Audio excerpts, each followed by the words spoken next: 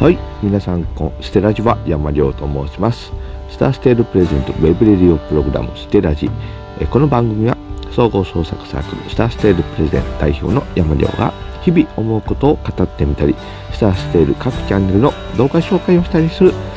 インターネットラジオプログラムです。ということでですね、まあ、今日もですね、ちょっとここのところのご多分に漏れず、まあ、情報をね、公開できることもありますんでね、そのあたりの話なんかをね、していこうと思いますけど、今日もすいません。まだ、えーここのところのご多分にも出ず、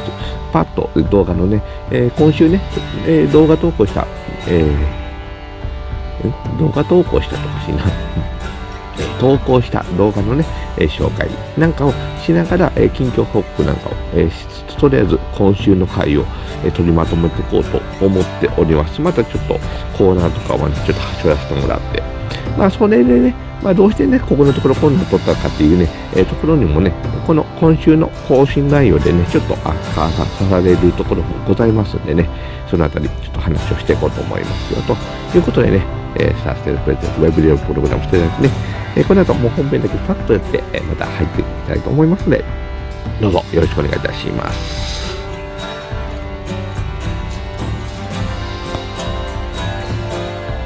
スターステールプレゼントウェブレディオプログラムステラジこの番組はゲームからカレーまであまねくトークをプレイとするスターステールプレゼンツ。燃える心が日本を変える。日本放課島の提供でお送りします。こういう風になってくるとねあれこの幅ではそうはいかな。い多分肉体とこれこっちに行けばいいとおおパって言ってますけどほぼほぼ負けですよね。いやあいい勾配もね綺麗にされてますよ。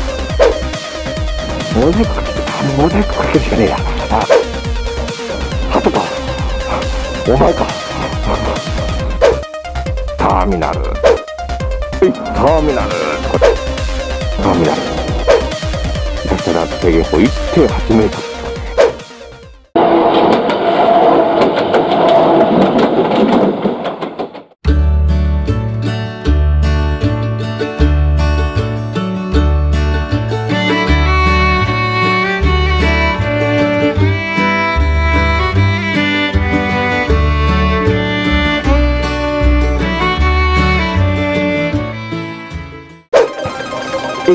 内にある名所案内全部回ってみようっていうのをねやってみようと思いますよ。いやもうこれ立派ですね。この中接触防止のため蚊日鈴をピアス化しました。ここに88箇所のあの全部お札のやつが詰まっちゃってるんですね。ね聖徳太子だけに太陽を抱くみたいな。えまさかそそういうオチじゃないですよねところで50円そんなわけないでしょ。この道ずっと行ったらもう駅前の方に行けるのかな。いやこの距離歩いてると楽しいな。きっとかなりありがたいあれなんでしょうね。へえ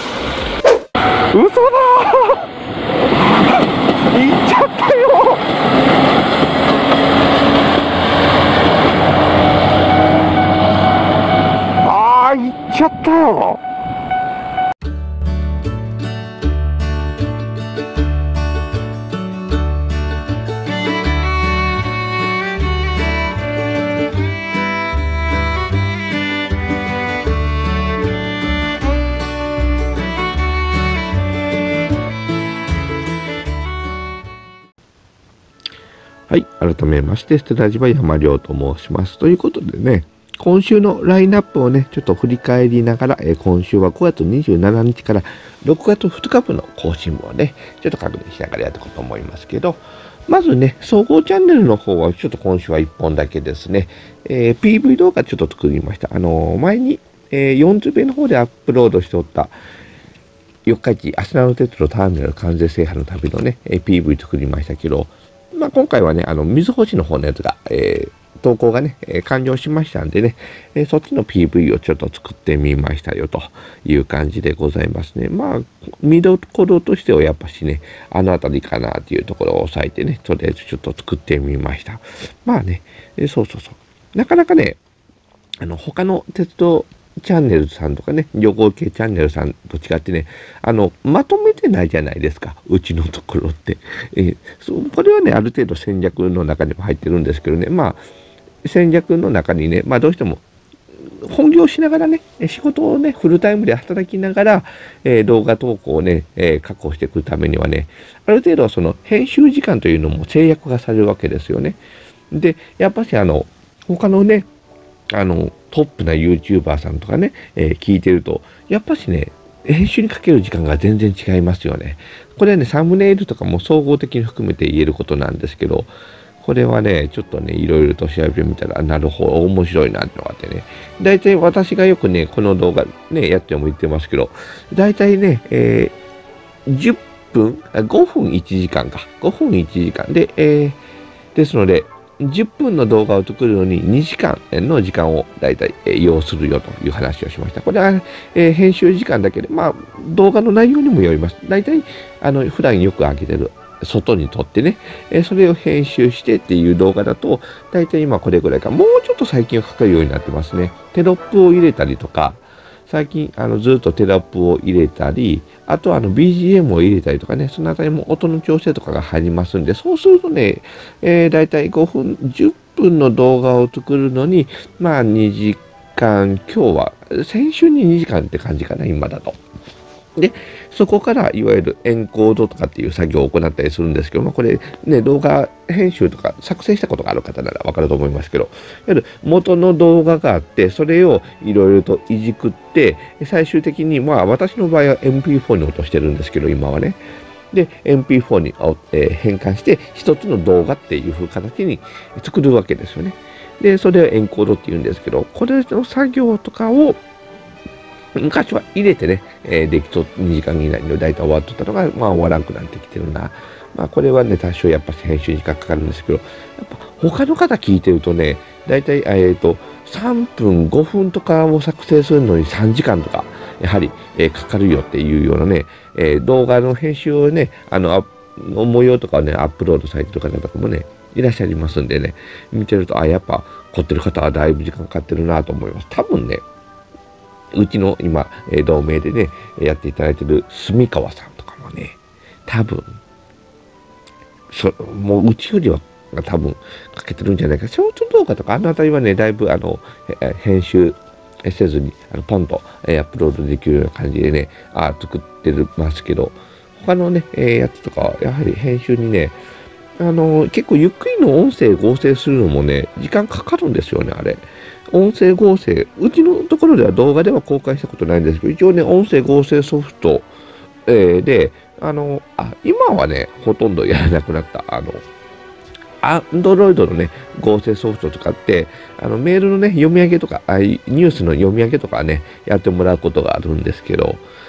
昔、ゆっくりボイスをね、ちょっと試そうとしたことあるんですよ。まあ、10年ぐらい前なんでね、今だとだいぶちょっとまた勝手が変わってるのかもしれませんけどね。そうそうそう。だるとね、まあまあ大変なんですよね。まあ当時のパソコンのスペックもそんなに高いの使ってなかったっていうのもありますけど、ああっていうのもなってね、あ難しいところもあるなぁなんて、思いますけどね。そうキャプチャーカードの編集とかね、いろいろ入れたりするのはね、まあまあまあ大変なんですよね、と、えー、いうこともあってね。まあそんな中では一応編集してるので言うたらこの PV はね、えー、いろんなところから、えー、拾ってきて、まあ1分強にね、まとめてますから、まあ編集してる方の動画にはなるのかなと思いますけどね。うんうんうん。っていうところがあります。で、まあ今週からちょっとこれだけ PV だけ公開してますよということでですね。で、4つ目の方が今公開はメインの方になってます。で、こっちの方で今新しい企画ね。まあ、新しいというか、前に、えー、この宝珠名義でやった企画をそのまま今度、えー、この北中世に持ってきて、まさかでや、ね、始めましたよということで、松坂駅構内にあるね、え、名所案内完成制覇の旅ってことでね、え、やってましたけど、えー、これね、まあ公開されたところまでで言うと、どこまで公開した？え松坂駅について、え名所案内を確認したところまで行ってるか。ね。っていうところなんですけど、まさかのね、JR 側の名所案内にはないっていうね、あの、名所案内自体がないっていうね、えー、驚きの結果で、結構収容駅だからあるっていうわけでもないんだな、ということがね、これで分かりましたよ、ということでございますね。まあ、ただ、あの近鉄側にね、ありましたんで、それを、えー、やってきますよということでございます。で、まあ、ここだけのね、ネタ話をしてしまうと、えー、この60番のシリーズでは、4つ目の第60番目のシリーズっていう形では、途中までしか、えー、いけません。あの、全部はね、やっぱ回れませんでした。無理。あれは無理よっていうことで、改めてね、えー、マイカーで移動して、そうそう、これの後、もう一回真っ坂に行ってるんですけど、それはね、ちょっと、えー、別の所用があったんで、で、あの、この企画で撮ってるね、特ダネ4回数券、えー、買ってましたんで、もう一往復分はね、あもう自動的にあったんで、まあ、これでね、そのまま寄れるかなと思いましたけど、まあ、さすがにね、あの、半日で寄れるね、あの公共交通機関で行けるようなところでは、代物ではなかったんで、これはね、えー、改めてですので、えー、その月末にもう一回行って、で、その時にはね、ちらっと鉄道動画撮ったんで、それはそれで単発であげようと思いますけどね。で、それとは別で、えー、昨日ね、改めてね、ちょっと行ってきました。えー、まさかの方にね。で、まあ、これは車でね、もう移動して、えー、撮ってきましたよと。いう形でとりあえずなんとか全部回りましたけどね。まあやっぱしね、あれだけの距離になってくるとね、10キロとかね、離れてるよってなってくるとね、ちょっとマイカーでないと、うわー、ちょっと、回りきるのは無理ですよね。そこだけ一発行くっていうんだったらね、もう死ぬほど歩いていくというか、まあ最寄りまではね、一応バスがね、タコ足とかっていうところだったかな、あるらしいんですけどね、まあそからもだいぶありますし、だいぶ獣道を行かないといけませんしね。なんなら、その、えー、奥のところでですね、大変な、ことがまた起こりましたので、ね、まあ、びっくりしましたね。っていうこともありましたよ、と、えいうことでございますね。で、まあ、それの撮影、撮影したのはそ,、えー、それぐらいかな。あとはもうずっと編集をね、やってるわけですけど、ちょっとね、まあ、ここのところ体調ね、ちょっと崩した、えー、ところもあったんで、だいぶ温度差もありましたしね、まあいろいろとね、えー、もう年ですからね、37ですからね、そう。なってくるとね、なかなか 大変なこともあって。でね、まあちょっと想定外だったのがね、本当は昼間にね、いろいろとね、あの、音声の書き込み作業とかもね、やりたいなというのが思ってたんですけどね、それがね、ちょっとね、今ね、ちょっとあんまりあの詳しく言うとね、場所がね、特定されちゃうんでね、あれなんですけど、家のね、近くでですね、あの、すごく大規模な工事が始まりましてですね、あの、まあ、相当大規模な、えー、施設をね、作りますよということでございましてですね、もうね、えー、昼間ね、もうね、あの休日問わずね、どっかんがっちゃんね、えー、バリバリ作ってるんですよね。一応防音シートとかね、やはりあのつけてくれてはいるんですけどね、まあ、それでもね、あの結構近い距離なんですよ。なのでね、あのね、音がね、まあまあ響くんですよね。ということでね、これはね、あの、音の収録はできんねっていう、え、ことでございましてですね。いやー、これは想定外でね、まあこれがね、ただね、その、ですから、ちょっとね、あのこの前やったね、あの近所の、えー、工事、えー、土木工事っていうかね、道路工事みたいな感じで、あの、ね、なんて言ったらいいの、もうね、1週間とかね、にえ1ヶ月とかね、1ヶ月、2ヶ月とかね、で、あの、終わりますよって言うんでしたらね、ああ、なるほどなって目処が立つんですけど、これね、めちゃくちゃ時間かかるらしいんですよね。なんか、えー、終了はね、いつなんだろうね、なんかね、もう本当に、多分あの、まあ、相当大きいの作ってるんで、まあ、多分そのうち、多分あれでね、あの、竣工でね、多分入ってくると思う。ね、えー、それで、あの、いつね、出来上がりますよみたいなのがね、わかると思うんですけどね。いやー、これはね、なかなか困ったなということで、まあ、これ夜勤に戻ったら戻ったで、あれだなと。一応ね、あの、夜勤には戻りたいなっていうのはあるんですけどね、これ、夜勤に戻ったら戻ったで、これ、とてもじゃないけど、音うるさすぎて寝れんぞと、どうしようなっていうのでね、まあ、この前もね、それあの、やりましたし、まあね、もう、ね、ある程度時間が、ね、経ってきたのもありますんでね、言ってしまうと、本当にそのあたりのね、あの、睡眠不足とかもね、影響あったと思いますんでね、当時。うん、だいぶパフォーマンス落ちてましたんでね。で、いうのもあるんで、ど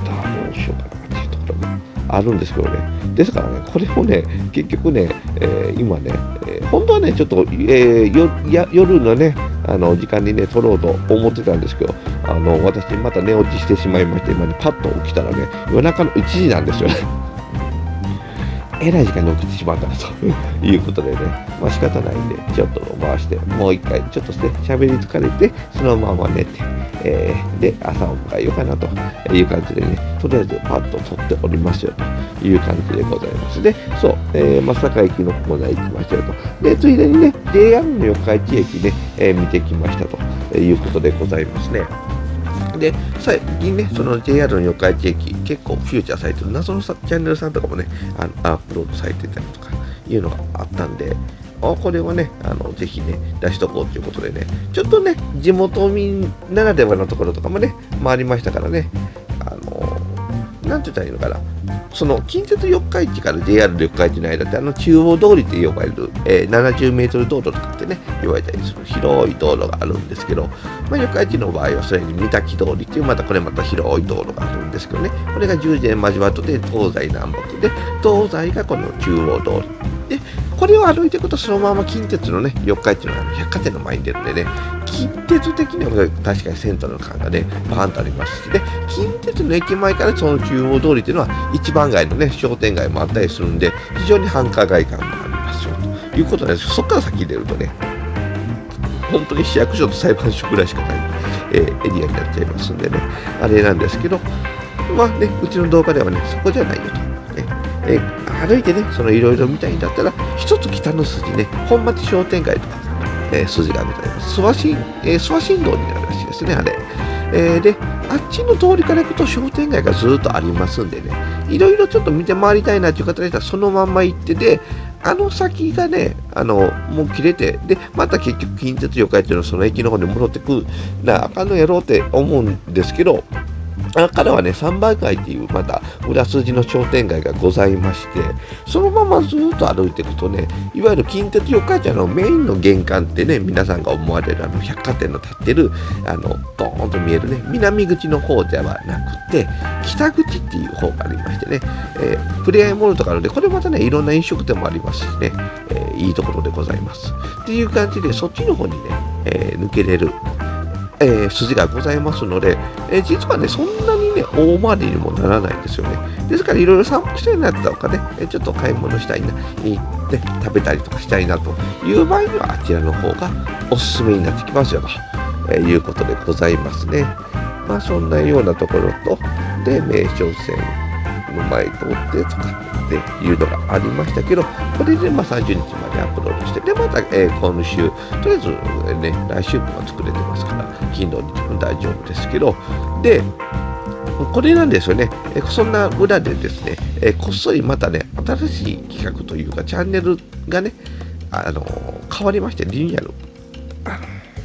ヤマペディアね、やってました。もう、えー、誰が覚えてんねんっていうね、あの、凄まじい、あの、平均再生数と、えー、平均登録者数とね、何せね、えー、十何本アップロードしてね、動画アップロードして、登録者がね、2人しかつかなかったっていうね、もう伝説のね、ダメ企画がございまして、再生数十何本あって、総再生数が3とか4とかだったはずなんですよ。もう、さんさんだと結果でございましたね。っていうのがあったんで、それはね、ちょっとね、一回ちょっともう全部ちょっとなかったことにしましてですね。まあ、あれもね、結構、あの、あれでまあ私自身はね、結構知見が増えましたしね、あれお手軽だったんでね、えー、嫌いではなかったんですけどね、まあ、ね、やはりちょっとこれでは厳しいなということだったんで、で、もともとね、前からメインチャンネルで本当はやろうって思っておった、えー、プロジェクトをこっちの方でちょっと動かすことにしました。ということで、ヤンマペディアがね、えー、その登録をいただいてた稀有な方2人ってなってますけど、1人は私がね、あの、メインアカウントの方からその更新状況を確認できるように登録してますから、実質ね、登録者1人だけなんで、この1人の方だけにあのお伝えすることになることではございますが、このね、ヤンマペディアっていうのが、ゴロッと変わって、えっ、ー、とね、 Ordinary Japan という、えータイトルでさせてもらっております。ブランド名で。 Ordinary Japan、えー、 StarsTail Glocal Project ということでですね、 StarsTail でね、うちのね、チャンネルで、あの、世界に発信をしようと。なんとも無謀なことをね、始めたわけでございます。で、いうのは、もともとね、 StarsTail チャンネル、えー、ちょっと前からね、登録いただいてる方なら、えー、ご存知の方もいると思うんですけど、あの、英語で登録名がなってたじゃないですか。スターステールチャンネルって言って、えっ、ー、と、何でしたっけ、えー、スターステールチャンネルでやってましたよね。そうそうそう。えー、で、英語のね、アルファベットで、えー、手をやっておったんですけど、あれはね、もともと海外向けの投稿とかそういうのをね、意識して作ってたんで、まあ実はこのグローカルって言葉を使い出したのも結構前でね、2年前に、えっ、ー、と、確か自販機で物を買う動画をね、英文つけて出してみるとかっていうね、まあまあ、あの、前衛的なことをやっておったわけでございますけど、うん。まあ全然再生数確か合計で4再生ぐらいしか入ってないんでね、まあ誰も知らないのかなっていうところでございますけどね。そう、もともとね、英語圏にもう発信をしていきたいなっていうのがあって、でないと、やっぱし、ね、日本語圏だけだとね、本当にマーケットがね、YouTube は特にちっちゃいですから、まあ、言うて大きくはなってきてますけど、で、やっぱりね、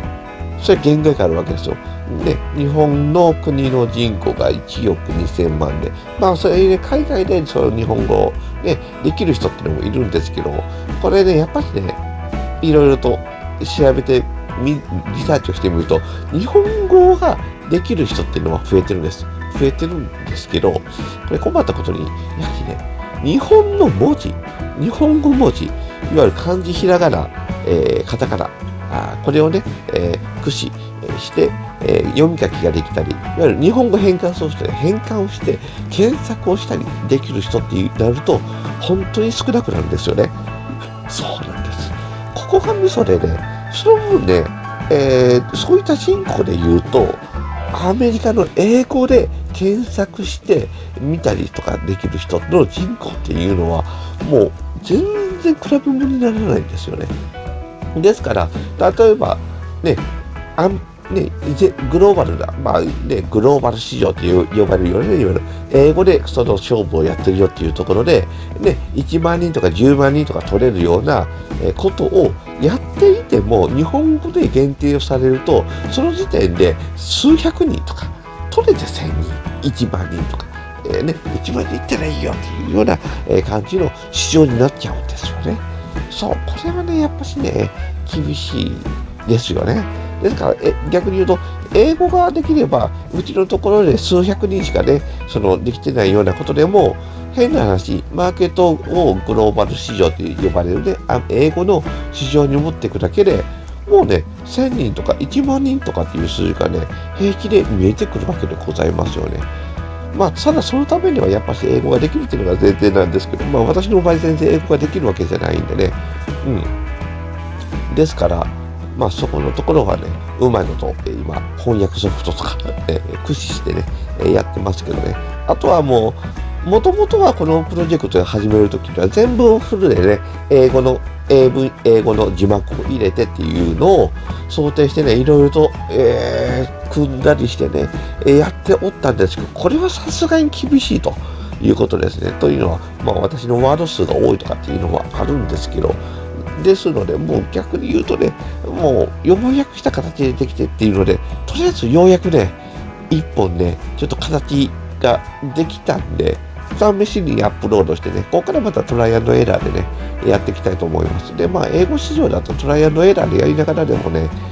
これで1000人とかね、登録者数はいけるんじゃないかなっていうのがね、ちょっと、えー、見えるところではございますんで、まあ、それで、えー、こういったチャンネルを立ち上げました。まあ、変更するか、ヤンマペディアを完全に、え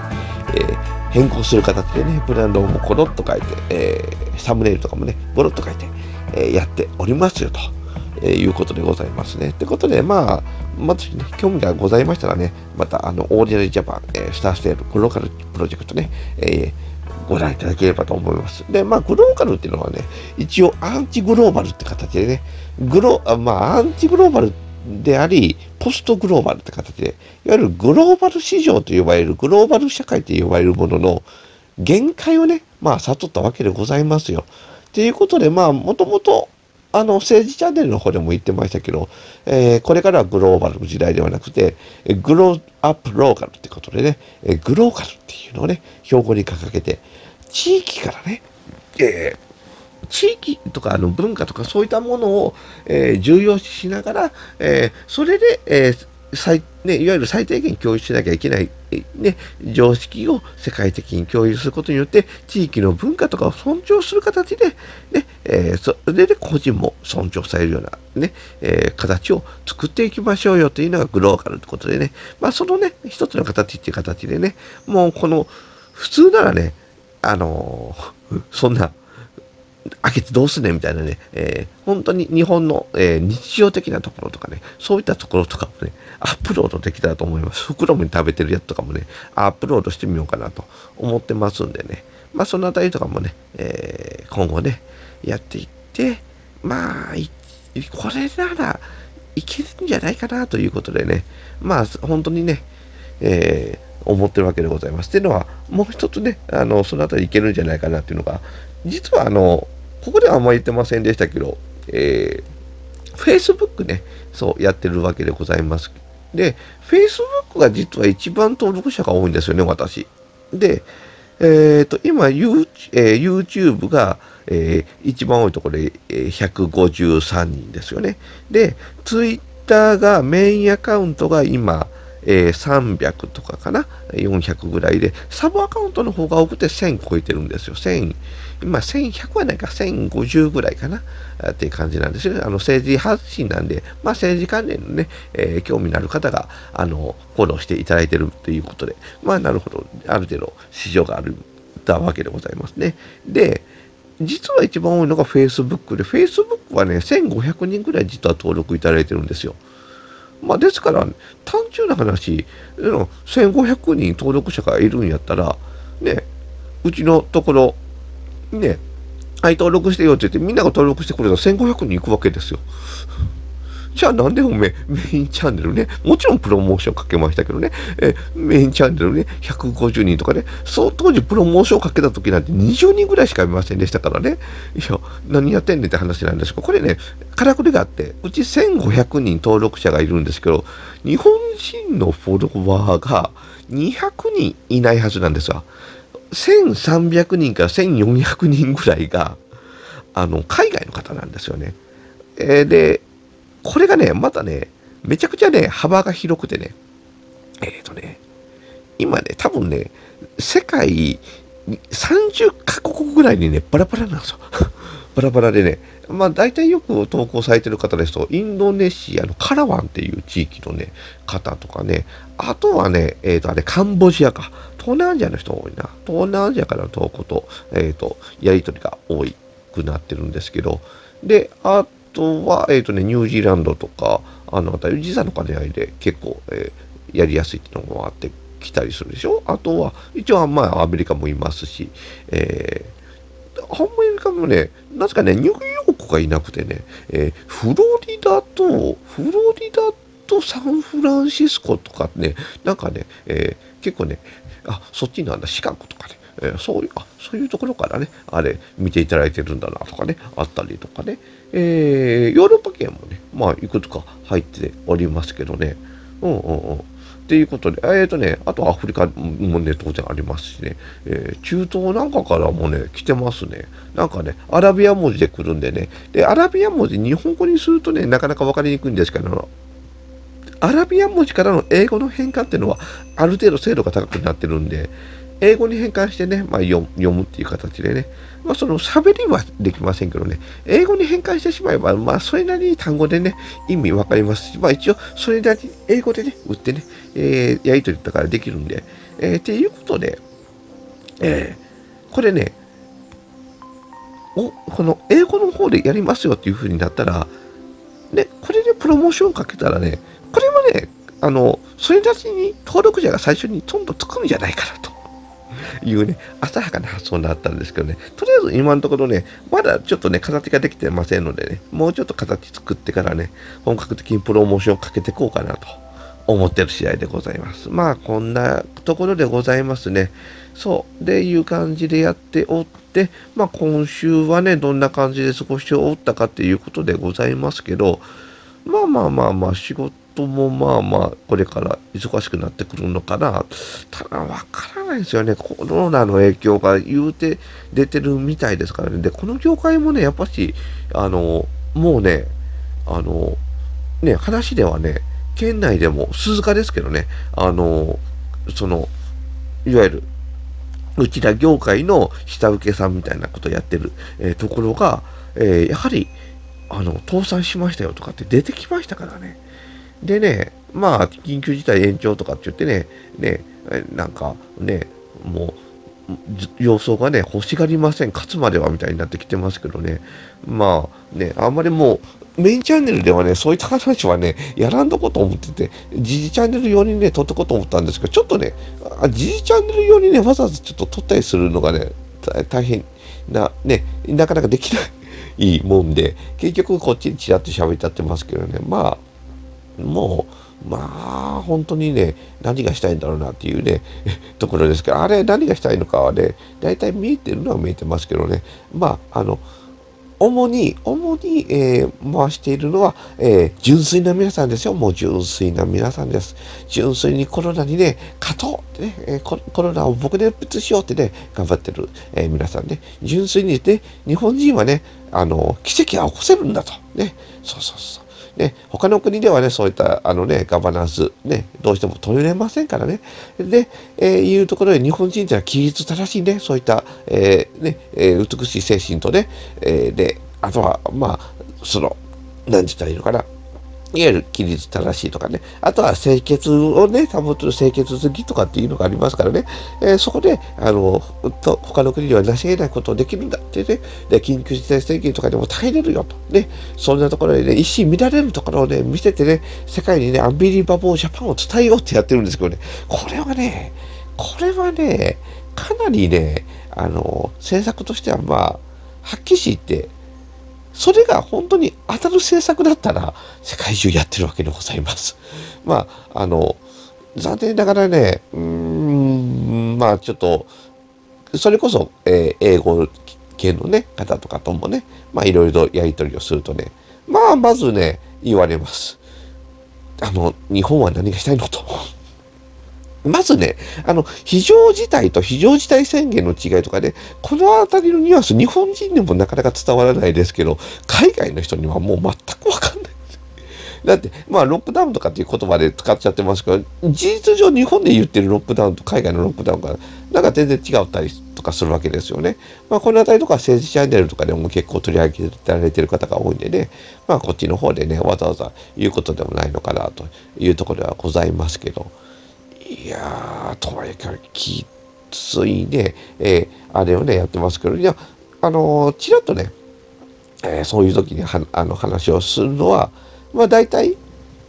ね、海外の場合は、まあ、いわゆる厳しい制約ができるわけですよね。まあ簡単に言ってしまうと、海外は、えー、いわゆる国家保安法みたいなのが、えー、非常事態で、大統領令とかでね、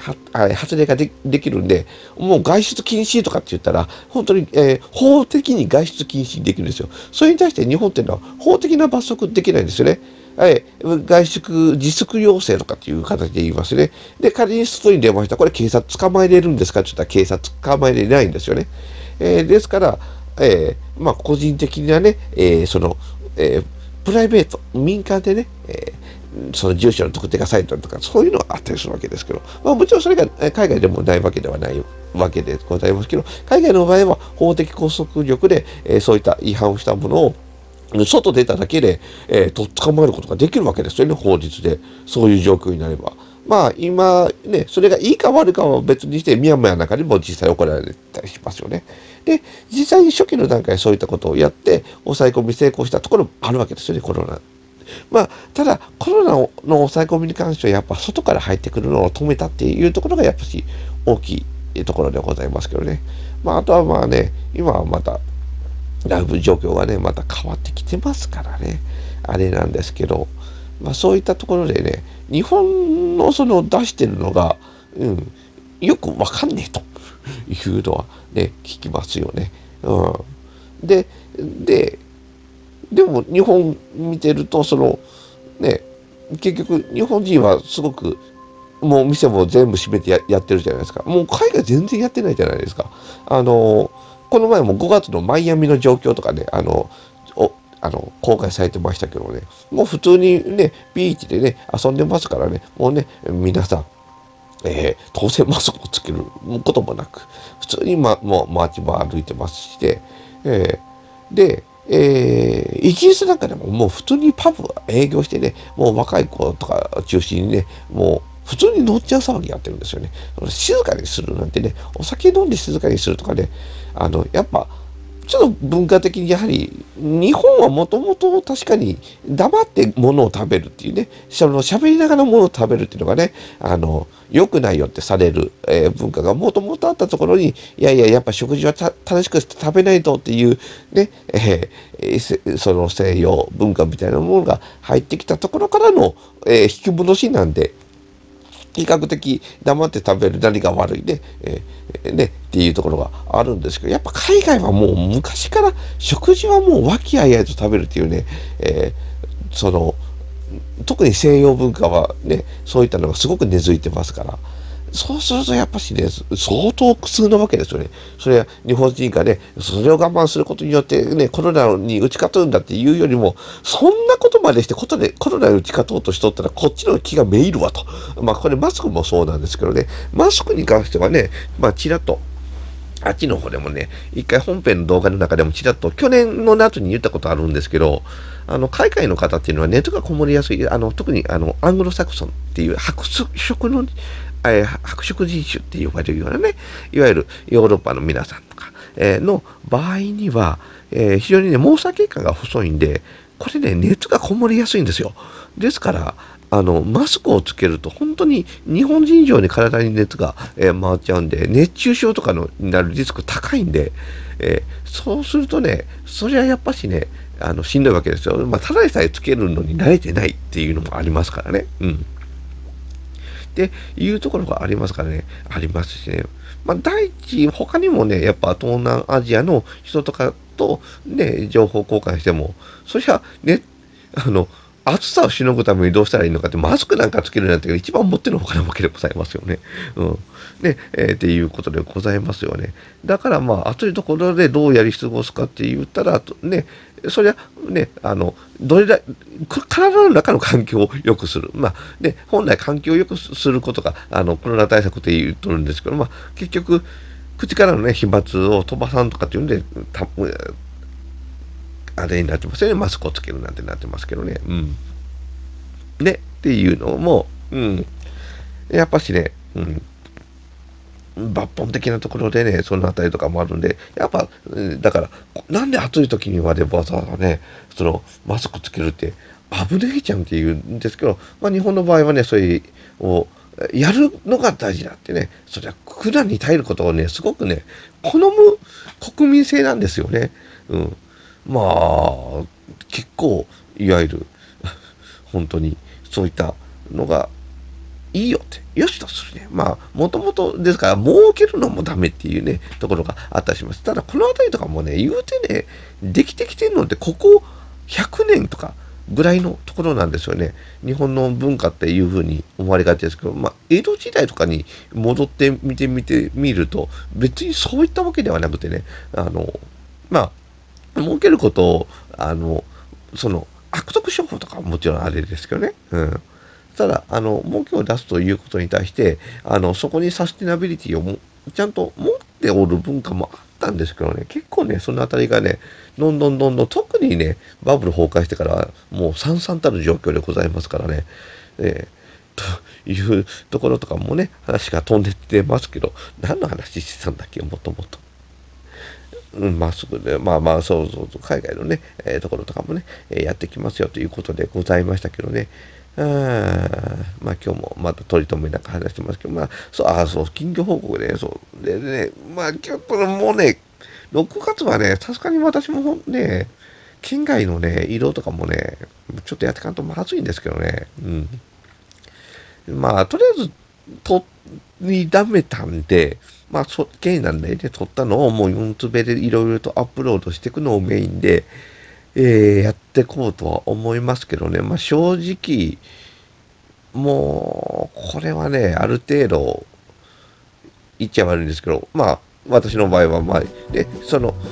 会社ではね、そういうの出て、ね、出てる兼ね合いで、もういやいやいや、その、ね、三重県はね、その、もともと県外行くのがあれじゃないですし、まあ、そもそも言ってしまえば、日本の場合は、県外の移動したら捕まるとかそういうことないわけですよね。そうそうそうそう。非常事態宣言とかって言ってね、ああいうふうには出てますけど、うん。ですから、海外の人があの文明を読んだら、いや、出かけたい放題じゃんと。ねえ、な、な、何言ってんのと。本当に本当に、えー、なっちゃうわけですよね。いやいやいや、だって捕まるんでもないでしょって。うん。それで、それこそそれを原因で、いや、あの会社を辞めてくださいとかって言われるんだったら、いや、もう、ね、逆に訴えたら確実に勝てるじゃんって。な、いやいやいや、ね、だから、な何が問題なのってななるわけですよ。いや、あの、特にまあ、これはちょっと国にもよりますけど、国民性とかにもよるんでしょうけど、なかなか一概には言えないところもありまして、もちろん、その国の中でも、えー、日本人的な発想の人もいますから、今から話をするのは、あまあ、スタンダード基準というか、まあ、オーディナリーな感じで捉えてほしいんですけど、わゆる海外の場合は、すっげえ厳しい、えー、基準が出てきます。えー、それに対して、どこまでやったらどれくらいのリスクが自分にあるのかっていうのを考えるわけですよね。まあだからリスクマネジメントっていうのはやっぱ考えながら、個人個人が考えながらやるんですよ。ですから、例えば、えー、完全にそ外出るなよと外出るなよ。外出禁止って言われた時に、どこまでやったらあれなのかな。えー、例えば捕まっ、厳重注意で済むのはここら辺までやったら、まあ、これくらいまではやっていいだろう。で、まあね、それで出たことによって、えー、銃で撃ち越されますよってなったら、これはリスクを考えないといけない。それは、これはまずいぞとなってくるわけでございますし、で、ね、捕まるとなっても、捕まるにしてもね、そこから、えどれぐらいのあの刑を受けなきゃいけないのかとかっていうのをリスクマネジメントしていくわけですよね。で、事実上、ね、これは法律で禁止されてるけど、実質上、これじゃあ捕まえようがないよねっていうところは、じゃあやっていいんだよねっていうふうになっていくわけですよね。うんで特に例えばこれがキリスト教圏の場合だったら法律で書いてあることも大事だけど聖書に書いてあることは大事なんですよ。とかってなってくるわけですね。うん、じゃあでその時々あるのがそのその両者に矛盾するときにやっぱ聖書を大事にしましょうよっていう人もいるわけでございますよね。そうするとでいや今あなた法律違反を犯したじゃないかいやでもこの法律違反はあの聖書に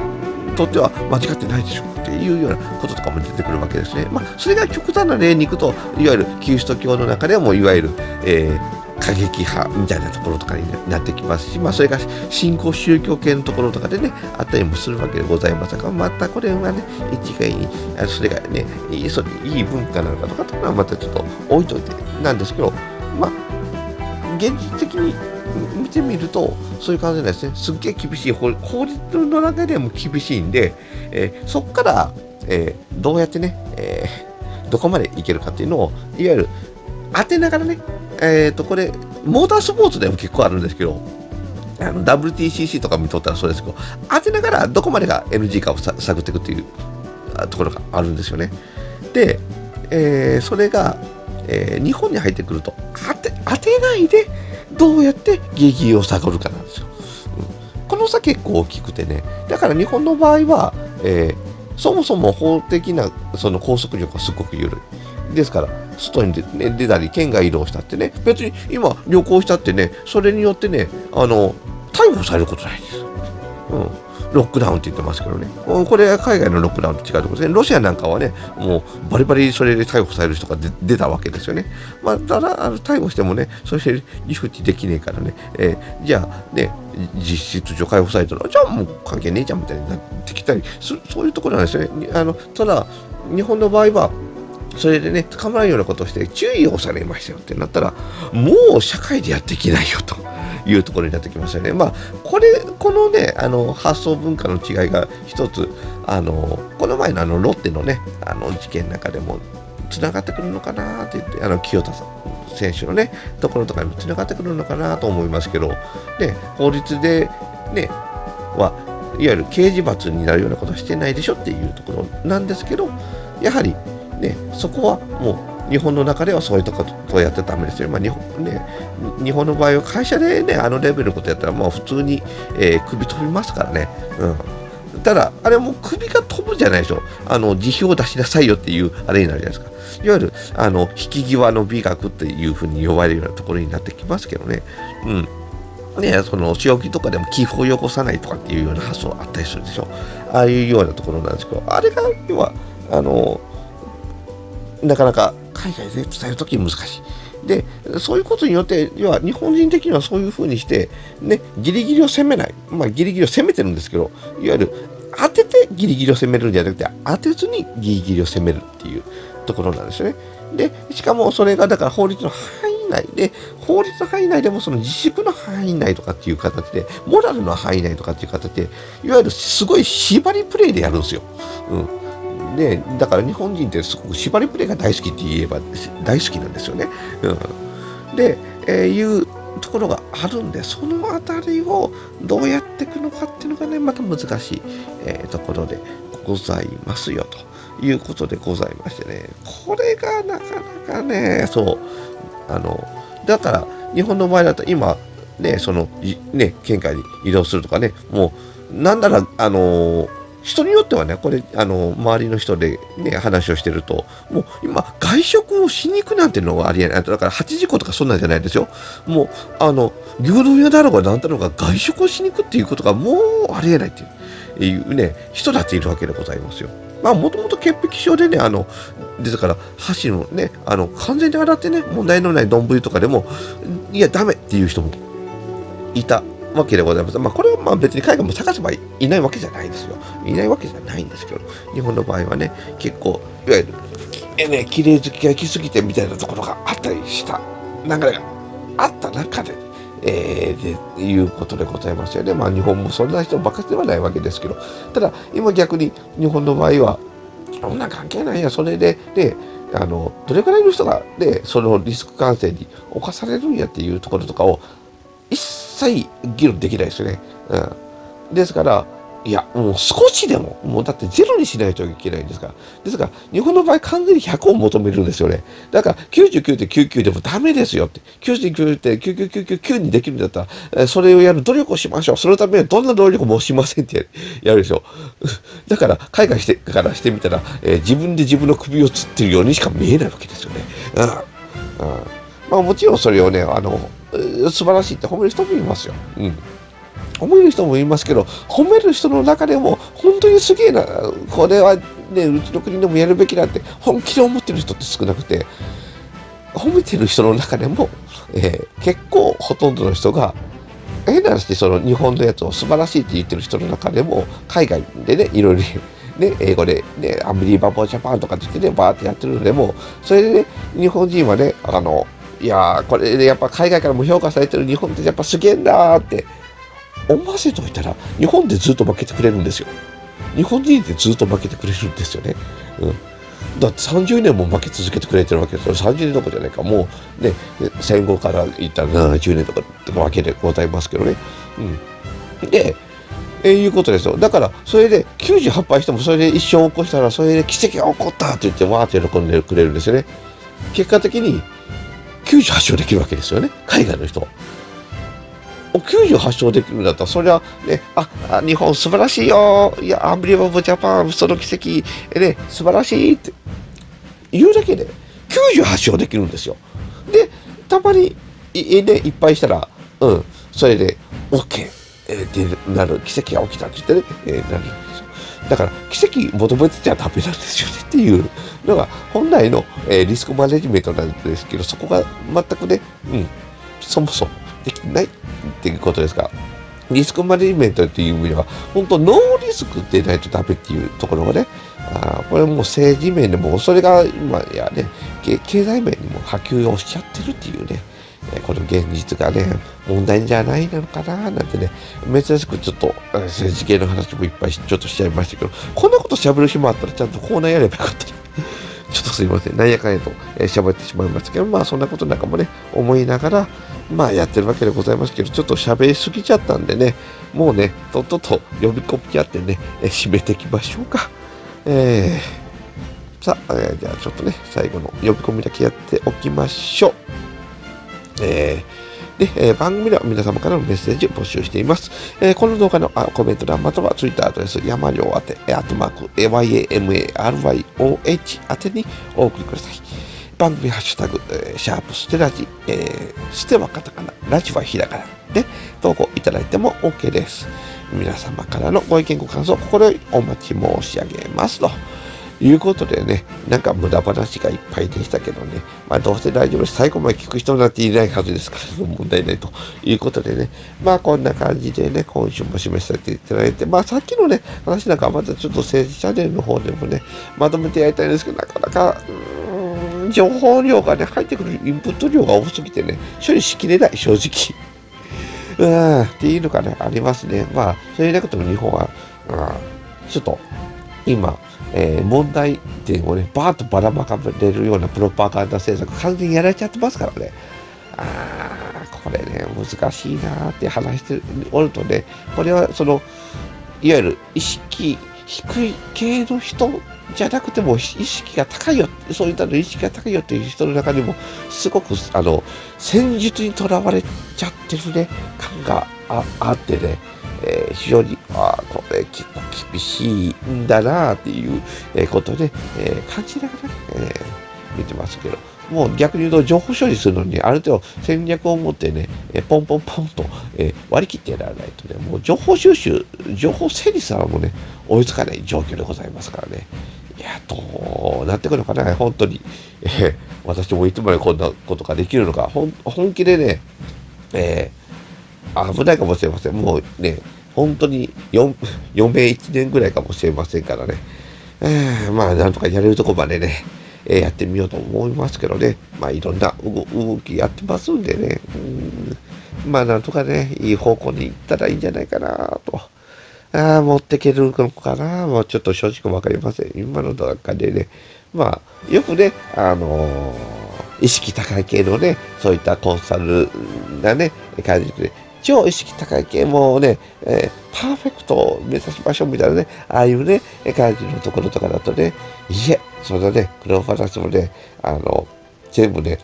笑い話にできるんですよなんてね、えー、切れ事ね、言う人いますけどね、あれね、成功できたから言えるわけでございますからね、あの、本当に成功できなくてね、あの、ホームレスになってね、えー、あの、そのままね、えー、冬、えー、寒さでね、ここへ散るで一体ね、えー、人とかにね、本当に、それ言えるのかいってね、言いたいですけどね、本当に、まあ私の場合、まあギリギリなところに来てるんで、えー、逆に言うと本当にギリギリでドロップアウトをね、しちゃったような人もいますからね。あまあ私もいつそっちの方に落ちるかわかりませんけど、うん、で、えー、まあなんとかね、今のところはややってますけど、まあちょっと、なかなかまあ、シビアすぎるじゃないかって、ね、意見もよくあるんですけどね。うん、まあ、もともとはね、うん、前にもちらっと言ったことありますけど、あの、あれはね、プライベートは、えー、ポジティブに、仕事はすごいネガティブにやるよっていうところがあったんですけど、もう正直ね、えー、プライベートも相当ネガティブにね、危機感を持ってやらないともういかん状況でございますんでね、まあ、先が見えませんからね。あということでね、あちなみにあの危機感を持つっていういうよく言ってますけどね、これもあの、私なりのやり方っていうのはね、あの、だいぶ、その、一般的な日本の企業的なやり方とだいぶ違うところがありますんでね、まあだから結構、えー、私の場合、会社を追い出されることも多いわけでございますけど、いわゆる、老化バランスでね、私の場合まとめますんでね、そうそう、だから海外の人とかと、意外とね、今もね、海外の人とかとね、その、ちょっといろいろやったりするときにはね、あやっぱね、やりやすいなってのは、海外ローガバナンスなんですよね。あの、日本の場合は超ハイガバナンスで、どどんどんどん、いわゆるガバナンスっていうのは、あの、規律を厳しくするっていうことね。で、日本の場合はもうどんどんどんどんハイガバナンスに向かっていってるわけですよ。で、もうこれが、いわゆるもう、ある程度まではガバナンスいるんですよ。だから20、20%、30%ぐらいのガバナンスやってたのを、えー、ある程度引き上げるっていうのは、これはローガバナンスすぎても崩壊しちゃいますからダメなんですけど、私の場合大体80ぐらいでいいかなと思ってるんですよ。うん、ガバナンス80ぐらいあればもう高いんじゃないかなって。70から80ぐらいの間を収めときゃいいんじゃないかなと思うんですけど、日本の場合もう今90超えて、本当にもうきっちきちにね、いやもう全部分単位で管理してとかね、うん、そういうふうな、えー、ところとかでやっててあるじゃないですか。ですから私ももうね、そういうのを求められる職場にでやれば、そりゃね、全部その、組みますよ。秒単位で組みますよとね、やりますけど。まあまあもちろん今ね、その仕事の内容とかにもよってくるんであれなんですけど。で、ある程度その、目の立つようなね、形を作って、いわゆる80点取れればいいよっていう、えー、環境を作っていくっていうのがね、あれを求めて、まあ、で、回せれたら、それで黒字になればいい。まあ、それがいわゆるあの利益率とか、そのあたりのいわゆる値入れとかにも関わってくるわけですけど、日本の場合はすごくギリギリギリギリでないとダメよって。それで、ね、安牌みたいなね、その値入れとかしたら、まあ、競争が激しいと思います。加藤競争っていうのもあったりするんですけど、成り立たない。えー、っていうところがあって、まあ、結果的にすごくカツカツ、ね、すごい生産性とかも高いんですよ。日本、あの、日本の生産性が高いっていうのもあれもマジックがあるんですけど、うん。あの、日本は、その、1人当たりの生産量は、すごく多いです。ただ、これが、問題は、えー、価格をその分引き下げてしまう、ね、人件費をその分抑えてしまうということをやってしまうと、相対的にただの貧乏になっていくんです。えこれはね、数字のロジックですんでね。ですから逆に言うと、サボっとるようなところがね、どうしてそれで栄えるんだっていうね、えそんなのはおかしい、わ悪いやり方だというふうな見方もあるんですけど、そうじゃなくて、単純に同じね、えー、給料で半分しか作れないってことは相対的に GDP 倍なんですよ。っていうことなんですよね。うん。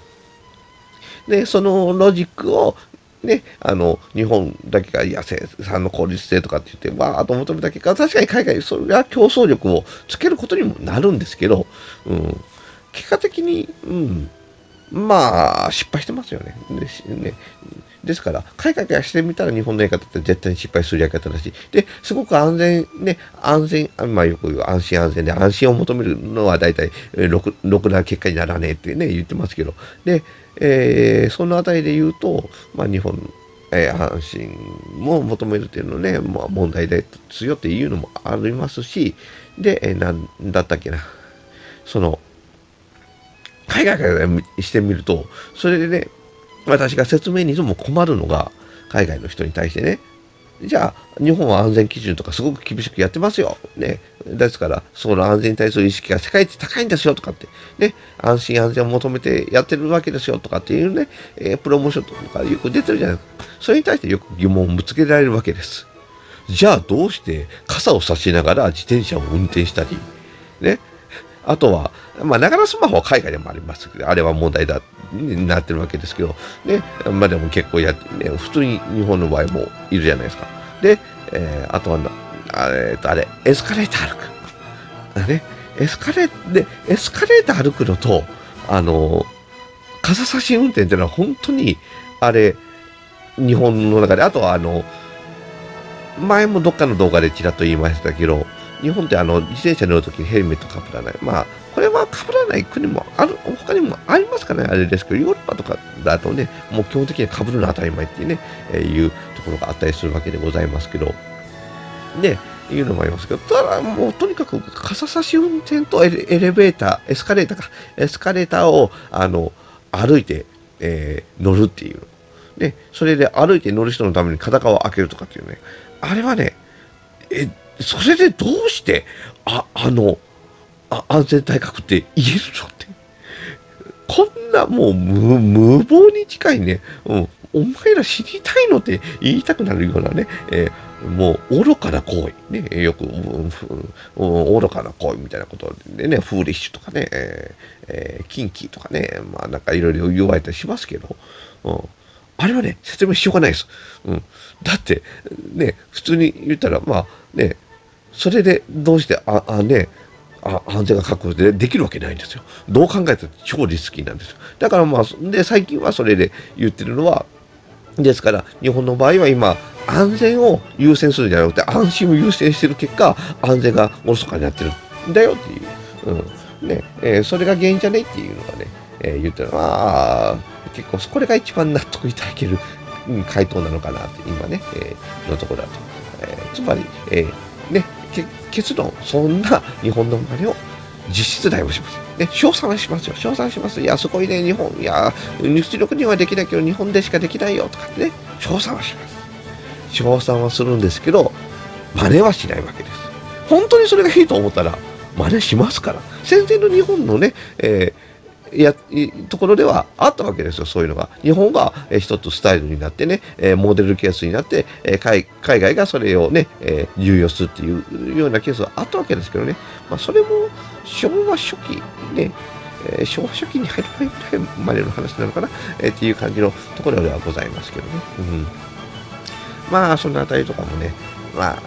難しい。しいところで、そこら辺をうまいことやるのにグローカルっていうね、新しいやつを始めたんですよっていう形で、いい加減まとめましょうか。なんやかんやと喋りすぎた。ついて喋り出すとね、止まらなくなっていますからね。ということで、まあ、これぐらいでね、えー、今回はね、えー、締めさせていただきたいと思います。呼び込みからまた10分ぐらい喋っちゃいましたね。えー、また来週もね、よろしくお願いいたします。まあ、なんかやかんやで上げれると思う、上げていこうと思いますんでね。まあちょっと生産ペースもね、えー、落とす形でね、えー、なんとかサスティナビリティをね、確保していこうと思いますんでね。というか、あの、英語の字幕つけるのに苦労するんです。あれね、ぶっちゃけ、あれ作るのに1週間かかりましたからね。ああ、苦労した。ということでね。まあ、一応プラットフォーム作れればね、もうちょっと早く作れるかなと思うんですけど、英語の変換とかね、えー、エビデンスチェックとかね、やっとったらぐっそ時間がかかるということでね。まあもね、もうちょっと慣れてきたらなと思いますんでね、えー、やってきたらと思います。ということで、これぐらいで、えー、もういい加減締めようと思います。ご視聴ありがとうございました。また来週。